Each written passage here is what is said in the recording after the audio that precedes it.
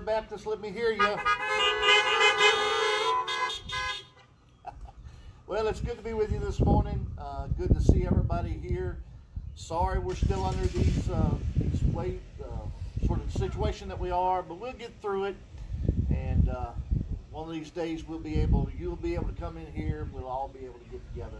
Is everybody? Uh, can everybody hear me? If you can hear me, honk your horn. Glad that you're here this morning. Just a couple quick announcements. Uh, if you can find Easter candy on sale, you still may be able to find that. Pick up some of the individual wrap stuff, hold on to it, and we'll we'll do something with it when we can get back into church. If you got it, just hang on to it.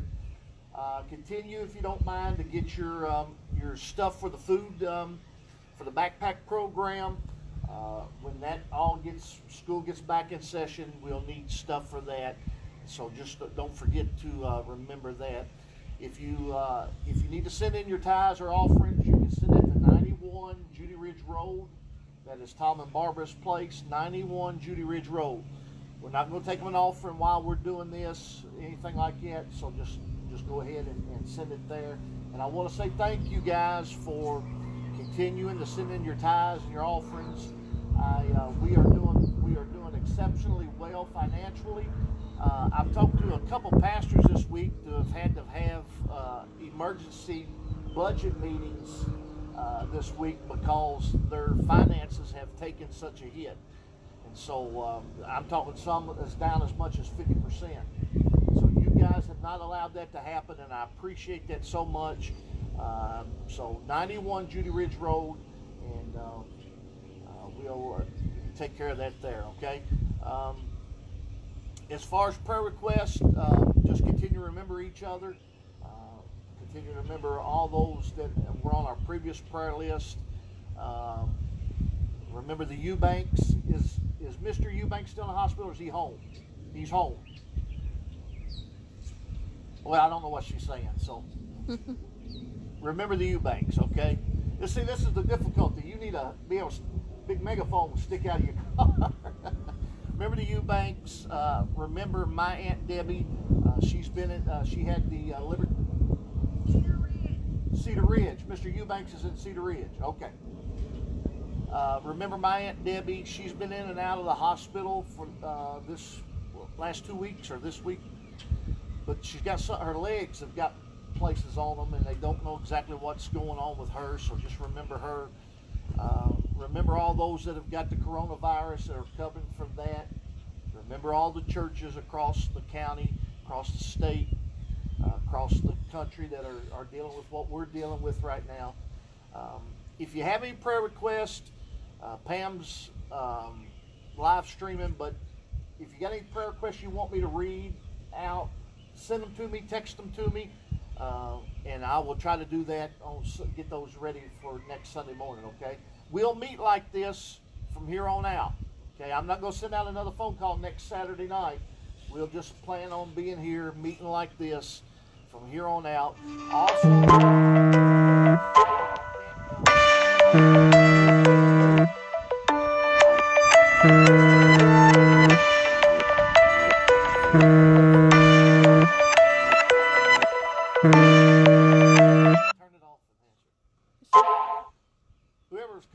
call me back. It's she's live streaming. All right. Um, I won't call you anymore about meeting. We'll meet here. If you're not able to join us, you can do it on uh, Facebook.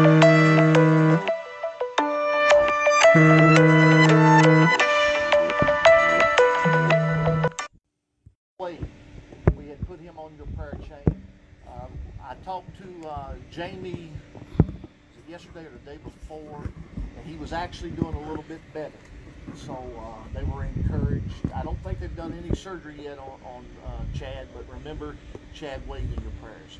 Um, again, if you don't have Facebook, you can go to www.youtube.com backslash redemption today. And that will get you all the sermons from what we're doing now, Pat, in the, and back in the past. I think I've even got some from way back when I was at Macedonia Baptist. plus our songs that we recorded.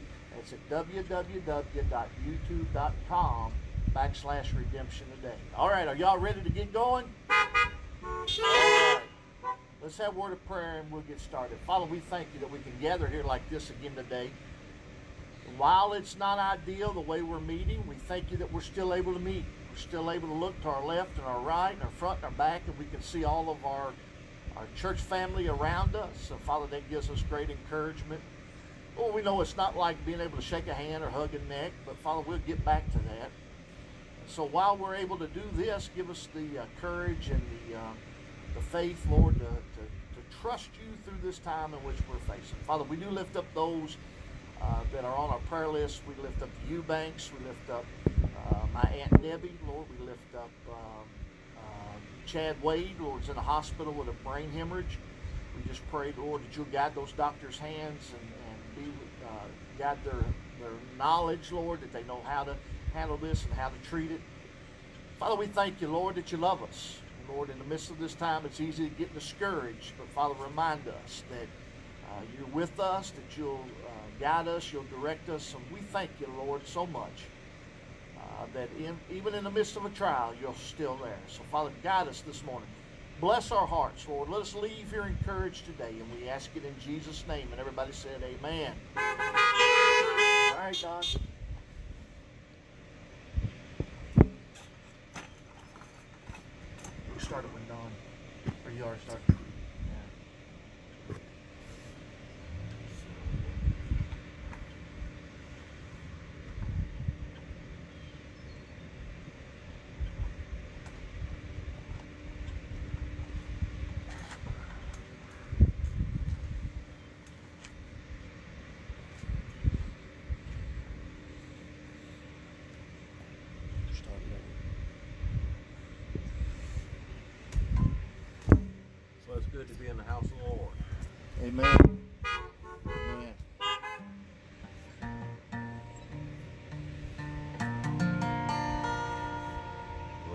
Night I dreamed an angel came. He called, he took my hand. He called my name. He bade me look the other way. I saw a man.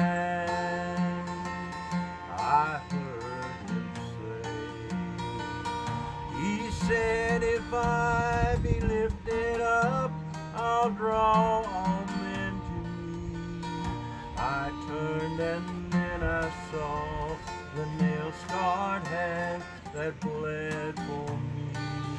I touched the hem of his garment that fell round me there.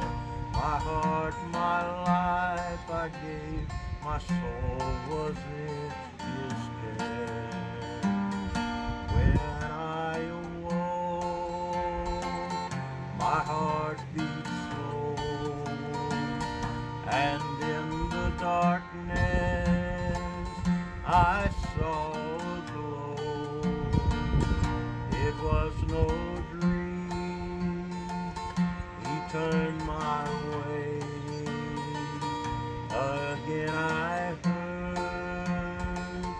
my Savior say.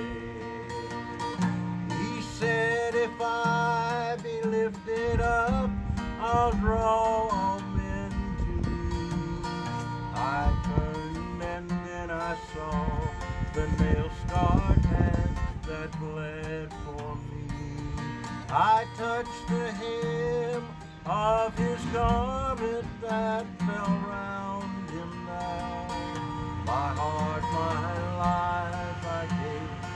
was in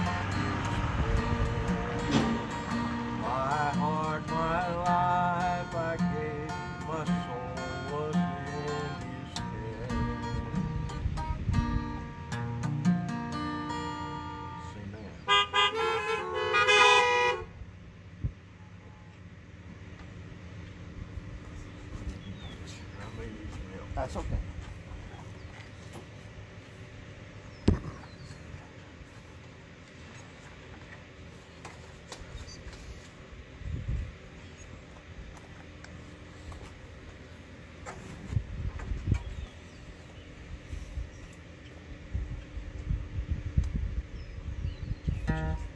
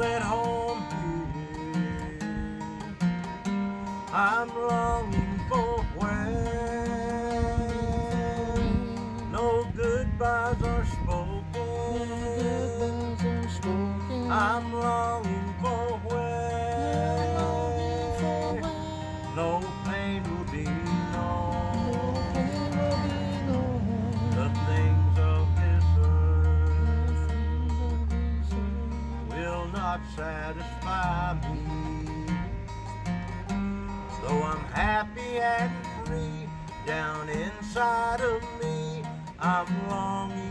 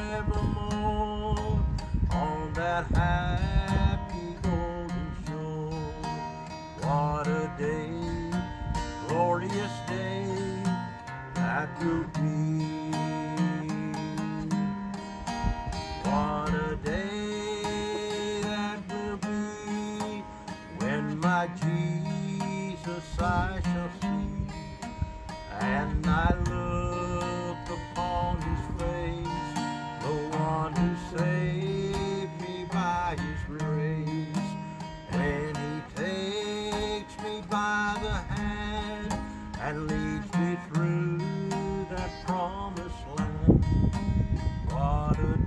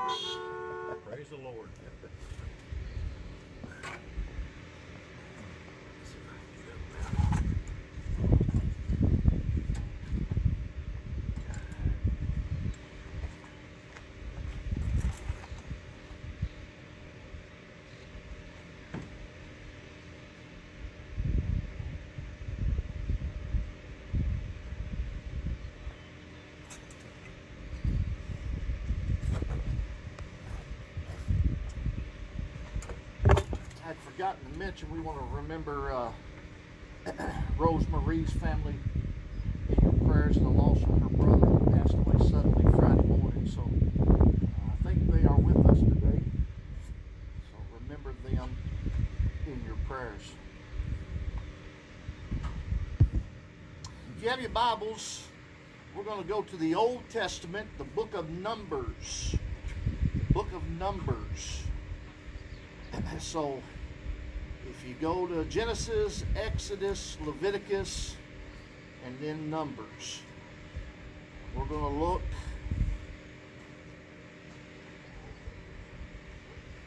at the 13th chapter and then probably the 14th chapter. Numbers chapter 13 and probably 14. So, you have your Bibles, I'm reading from the King James Version. The wording will be just a little bit, or excuse me, the NIV. If you had a King James, the wording will be just a little bit different, but we'll all end up in the same place together. Chapter 13, verse number 1 says, The Lord said to Moses, Send some men to explore the land of Canaan, which I'm giving to the Israelites. From each ancestral tribe, send one of its leaders. And so the Lord sends these these guys into, and here's the list of all the names uh, that were that were mentioned uh, from three through fifteen. All the names of the ones. Caleb and Joshua are the two most famous of all the ones that were listed here.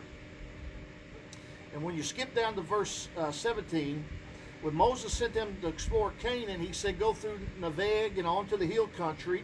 See what the land is like, whether the people who live there are strong or weak, few or many. What kind of land do they live in? Is it good or bad? What kind of towns do they live in? Are they unwalled or fortified? How's the soil? Is it fertile or poor? Are the tree are there trees in it or not? Do your best to bring back some fruit of the land. It was a season for the first ripe grapes. So they went up and explored the land from the desert of Zin as far as Rehob uh, toward Lebo Hamath. They went through uh, the Neveg and came to Hebron and were. Uh, so they go they go through all this here, and then we'll skip down to verse 26 without me trying to struggle through all those words. Okay. 26. They came back to Moses and Aaron and the whole Israelite community at Kadesh in the desert of Paran. They uh, there they reported to them and the whole assembly and showed them the fruit of the land. They gave Moses this account. We went into the land which you sent us, and here it does flow with milk and honey. Here is its fruit. But the people who live there are powerful, and the cities are fortified and very large. We saw descendants of Anak there. The Amalekites live there, eh, live in the Veg, and the Hittites and the Jebusites and the Amorites live in the hill country, and the Canaanites live near the sea and along the Jordan. So they saw the land. I'll stop right there for just a second. They saw the land, and they saw what it produced a land flowing with milk and honey, a, a land with large fruit and prosperous. But then they tell Moses, now hold on a minute, they some they some powerful people that live there. They some they cities have fortified walls. We're not sure we can take this. We might ought to rethink this whole thing. Verse 30, look at it. Then Caleb silenced the people before Moses and said, We should go up and take possession of that land, for we can certainly do it. But the men who had gone up with him says, We can't attack those people. They are stronger than we are. And when they spread uh, among the Israelites a bad report about the land they explored, they said, The land we explored devours those living in it. All the people we saw there were of great size. We saw the Nephilim there, uh, descendants of Anak, come from the Nephilim. Uh, we, we seem like grasshoppers in our own eyes, and we look the same to them. Now look at verse number, uh, chapter 14, verse 1. That night, all the members of the community raised their voices and wept aloud. The Israelites grumbled against Moses and Aaron, and the whole assembly said to them, If only we had died in Egypt or in this wilderness. Why is the Lord bringing us to this land to let us fall by the sword? Our wives and children will be taken as plunder. But wouldn't it be better for us to go back to Egypt?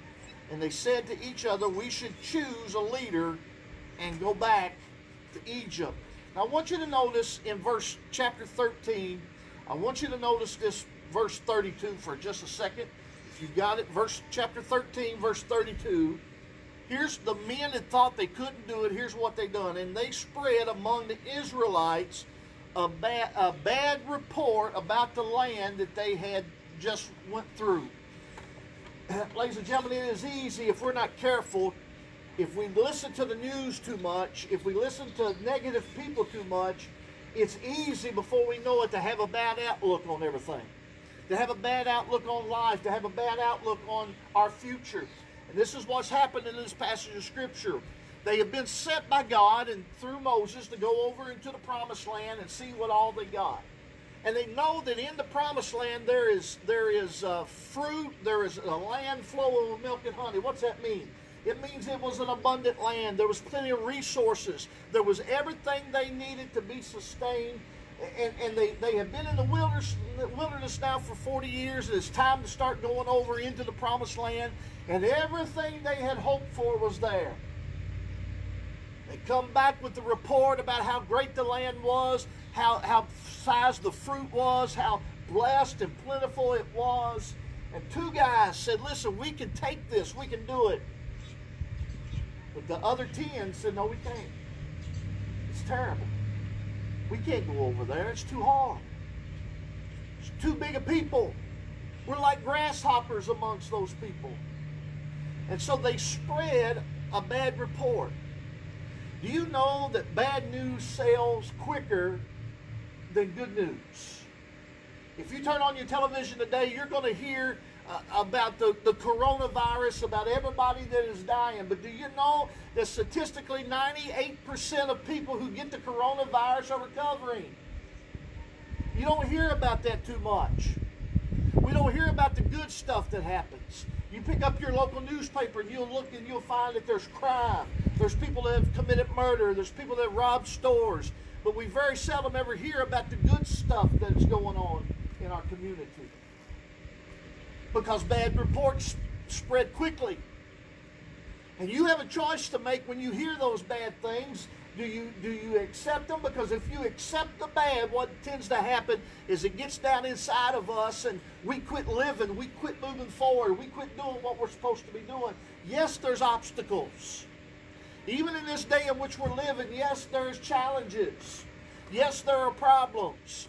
We know beyond a shadow of a doubt that that uh, people are unemployed, people are without jobs right now, people are struggling to get their unemployment. We know that record uh, people are getting food from food banks and things like that. We know that that's going on. But, ladies and gentlemen, I want you to also know that we have a God who is still on his throne. He's not le- left us nor forsake us. He still is in control, and we can still trust him.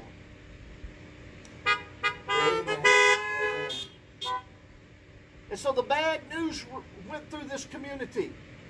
The bad report fled through the, just spread like wildfire throughout the camp of Israel. They begin to murmur. They begin to complain. They begin to say, we need a new leader. God gave us Moses, but Moses obviously is off his rocker. He don't know what he's doing. We need somebody to take us back to Egypt. Now, what was waiting in Egypt for them? Bondage. They were under bondage when they were in Israel or in Egypt. They were under heavy laborers. They were brickmakers and all these different things under the thumb of Pharaoh. But they were willing to go back to that instead of facing the challenges that lay before them. Sometimes the human instinct is to go back instead of to go forward. Sometimes the human instinct is to go back to the familiar instead of moving forward to the thing that God's got for us. Sometimes the human instinct is to look back at how we used to have it back in the good old days instead of making our way forward to the days that, that God has laid for us that's going to leave a mark on our lives. Ladies and gentlemen, we need to understand that a bad report can spread so fast that it can overcome us, that it can paralyze us in fear.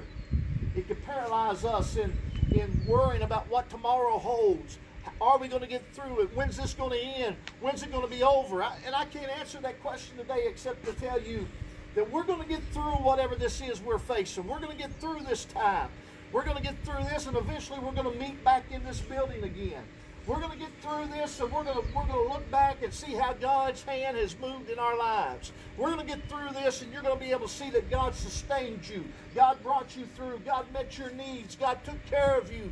You're going to get through this, and you're going to be able to see that God was with you every step of the way. You might not see it now, but we're headed to a land that's flowing with milk and honey. We're headed to a brighter day, a better day. I believe a day where people will appreciate this building more than they ever have before. That they'll want to gather together because they've been denied the opportunity right now to do it. We're headed towards a day where we'll, we'll be more conscientious about our health and taking care of ourselves. We're headed towards a day where we'll be more conscientious about not letting ourselves be in a spot where we don't have enough money to make it through when things like this happen. We're headed to a day where we're going to be more conscientious of the freedoms that we have, and we're going to cherish them more than we ever have in our lifetime. We've grown up, many of us uh, uh, have grown up thinking that this day would never happen, and yet here it is, where I'm standing here and you're sitting there. Many of us have grown up to think that we'd always have this opportunity, but now we've come to a challenge. And we can murmur and we can complain or we can trust God and move forward. And that's what happened. This bad report spread through through the whole camp and they're wanting to turn around and go back. But if you look at the 14th chapter and you look down here, verse 6, Joshua the son of Nun and Caleb son of Jephunneh who were among those who had explored the land tore their clothes and said to the entire Israelite assembly, The land we passed through and explored is exceedingly good. If the Lord is pleased with us, now look here, He will lead us into the land, a land flowing with milk and honey, and will give it to us. Only do not rebel against the Lord. I like this part right here. And do not be afraid of the people of the land because we will devour them. Their protection is gone. But the Lord is with us. Do not be afraid of them. Now here's Joshua and Caleb. They, they made this statement. They said, look, if the Lord's with us, the Lord's pleased with us. If He's on our side, we'll get this. We'll take care of this. We'll get on this other side of this land. It's a land that is exceedingly good. It's a land that flows with milk and honey. And if the if the Lord is pleased with us, He's going to go with us. He's going to go ahead of us. He's He's going to fight with us, and we'll win that land. Their protection is gone, but the Lord is with us. He says, Do not be afraid. And so here's two to stand up in the camp and say, Listen, we're going to make this. We're going to get through it. It's going to be okay. Just don't be afraid. The Lord is on our side. The Lord is with us. Let me ask you a question. Through this time, have you been fearful at all? Have you caught yourself wondering how you're going to make it? Have you caught yourself wondering, is your family going to get sick? Is your family going to make it? It's a time of fear, no doubt. And it's a time that people certainly are dying. But, ladies and gentlemen, we need to remember who we serve. And we serve the God of Israel, the God of Isaac, Abraham, Jacob. We serve Jesus Christ, the Son of the living God. And if, if He is with us, no matter what we face, everything's going to be all right. We'll get, we'll get through anything we face.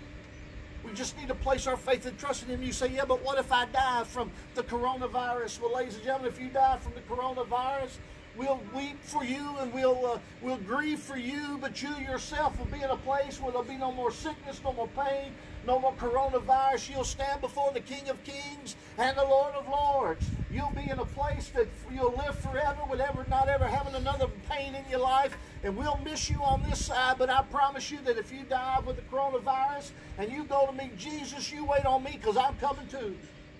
One of these days when he calls my name, I'm going to go to that place.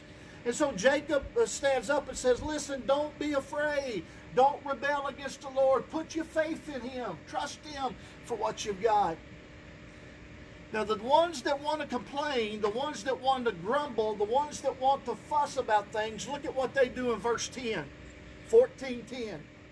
But the whole assembly talked about stoning them. they believed the bad news. They believed it was never going to get any better. They believed that they would never get to the place that God had sent them. They believed the report about how bad it was. They didn't have faith. They didn't trust God. They wanted to stone the two that did. Isn't that interesting? The two that believed that they could do it because God was with them. They wanted to stone them. And there's something interesting happened. If you look on in verse 10, then the glory of the Lord appeared at the tent of meeting to all the Israelites. The Lord, verse 11, the Lord said to Moses, How long will these people treat me with contempt? How long will they refuse to believe in me? In spite of all the signs I've performed among them. I will strike them down with a plague and destroy them, but I will make you into a greater nation and stronger than they. Moses said to the Lord, But then the Egyptians will hear about it. By your power, you brought these people up from among them, and they will tell the inhabitants of this land about it. They have already heard that you, Lord, are with these people, that you, Lord, have. Uh, have been seen face to face, that your cloud stays over them, and that you go before them in a pillar of cloud by day and a pillar of fire by night. But if you put these people to death, leaving none alive, the nations who have heard this report about you will say, The Lord was not able to bring these people into the land he promised them on an oath, so he slaughtered them in the wilderness.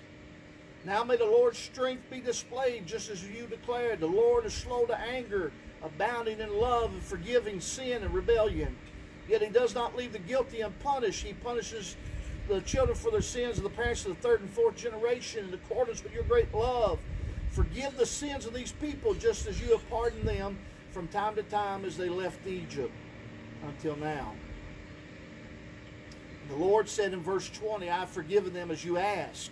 Nevertheless, surely as I live, and surely as the glory of the Lord fills the whole earth, not one who saw my glory and the signs I performed in Egypt and in the wilderness who disobeyed me and tested me ten times. Not one of them will ever see the land I promised an oath to their ancestors. No one who has treated me with contempt will ever see it. But because my servant Caleb has different spirit and follows me wholeheartedly, I will bring him into the uh, land uh, he went to went to, and his descendants will inherit it. And since the, uh, the Amalekites and the Canaanites are living in the valley, turn back tomorrow and sit out towards the desert along the route of the Red Sea. And so, listen, we'll stop right there. the Lord ended up, what ended up happening to that generation of people who mumbled, they never got to see the end result of where God was taking them. God said, I won't let them go into the promised land. I'll let their children, but I won't let them because they grumbled and they didn't trust me. So Joshua and Caleb and their inheritance, their, their descendants, were the ones who got to go over into the promised land and receive the blessings that God had for them. Ladies and gentlemen, mumbling and complaining doesn't get us anywhere. I know we may be in a habit uh, in the afternoon at 5 o'clock of turning on the television news and watching Andy, but maybe we take a break from Andy for a little while and get ourselves some, some decent, some, some words that are positive. And I know he's trying to do the best that he can do. I know he's doing that. But we need to not listen to all the negative that's going on in the world. There's plenty of that. We need to listen to the positive that God is saying, that, that God is telling us that we're going to get through this. We're going to make it. No matter how hard your life is today and how difficult things may be, God has not left you. God is on your side. God is going to walk with you through the furnace, through the fire, through everything you face. God is with you. Trust Him today. Trust Him with all you got. Yes, it's difficult days we live in, unprecedented days in which we live in, unusual days in which we live in. God is bigger than any virus that we face. God is bigger than any economic problem that we face. God is bigger than any problem that you're going through right now. Your job is to trust Him.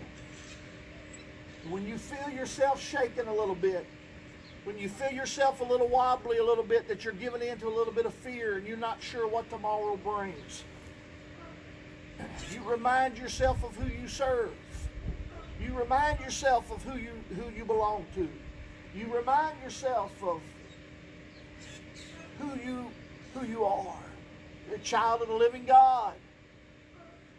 You're a child of the Most High. You were blood bought, purchased by Jesus Christ at the cross of Calvary. We'll face problems in this world, but Jesus is with us, Jesus is in us, Jesus is for us, and no, nothing that we face can overcome us. What, what, and if the flood would overcome us, we'll die and go to heaven. Ladies and gentlemen, we got to listen to the good stuff, not the bad. We need to be a people. We need to be a people who are people who believe the book, who believes that this word works if we work it, who believes that we can have what this says we can have and we can do what we, this says we can do. Don't let the devil whisper in your lie, it'll never get better. Don't let the devil whisper that lie in your ear that you'll never get through it. Don't let the devil whisper in your ear that it's always going to be this way. We're going to get through this. We're going to get through whatever battle you're facing right now. It may not even be the coronavirus. You may be going through a trial this morning. It's completely unrelated. Maybe your heart's ripped out and you don't know how to take the next step. You don't know what to do.